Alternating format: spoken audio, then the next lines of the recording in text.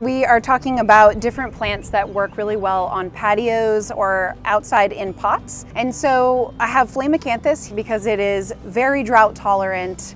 Um, it does really well in pots. Very gently loosen up these roots. Place our plant in and then I'll go through and backfill. Make sure you are not burying where the plant's roots meet the plant's stem. Water slowly and thoroughly. And then I stop and let that seep in. I will do that about two more times until I see water coming out of the bottom of the container.